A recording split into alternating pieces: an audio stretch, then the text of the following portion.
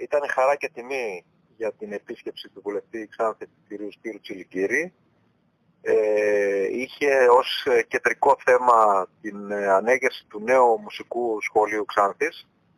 Ε, ήταν ένα προσωπικό στοίχημα δικό μου όταν ανέλαβα ως διευθυντής στο μουσικό σχολείο Ξάνθης και κατάφερα με, με αρκετή πίεση ήθελα να πω μέσα σε εισαγωγικά στο πρόσωπο του κυρίου Σπύρου Τσιλικύρη να τον πείσω, προς, να τον οδηγήσω προς αυτή την κατεύθυνση, να μας βοηθήσει έτσι ώστε ένα όνειρο 25 χρόνια να γίνει πραγματικότητα.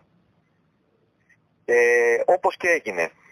Λοιπόν, μαζί με την ε, αμέριστη συμπαράσταση και βοήθεια του κυρίου Μέτιου, του Γιώργου του Τσιτηρίδη, του Δημάρχου Απτήρων και ο Σπύρος ο Τσιλικύρης, όλοι μαζί με κοινό στόχο την ανέγγιση του νέου κτηρίου τα καταφέραμε. Ολοκληρώθηκε ο φάκελος, τα λεφτά ε, βρεθήκαν μέσω ΕΣΠΑ το οποίο θα,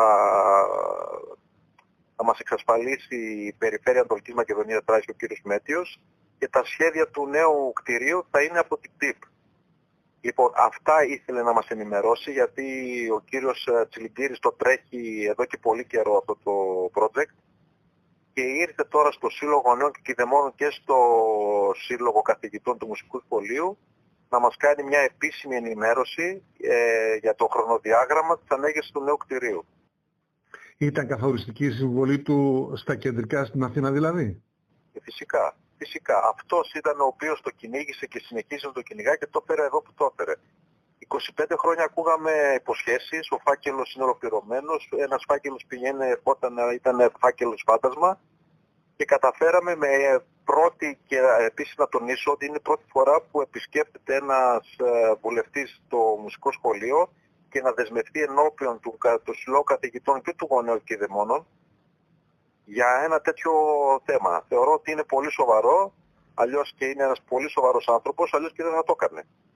Δεν θα έμενε μόνο στα λόγια. Από τη στιγμή που δεσμεύτηκε και με την παρουσία του για να μπορέσει να μας ε, ανακοινώσει, το, να μας περιγράψει μάλλον το, όλα τα βήματα μέχρι, που, μέχρι αυτό το σημείο που έχει φτάσει ο, ο φάκελος, νομίζω ότι είναι μια ηθική δέσμευση. Επιτέλους η Ξάνθη θα πρέπει να αποκτήσει το, δικό, το μουσικό σχολείο να αποκτήσει το δικό του κτίριο, διότι εκτός από το παιδαγωγικό του έργο ε, έχει και μεγάλο κοινωνικό και πολιτιστικό έργο στα δρόμενα της Ξάνθης. Οπότε το αξίζει.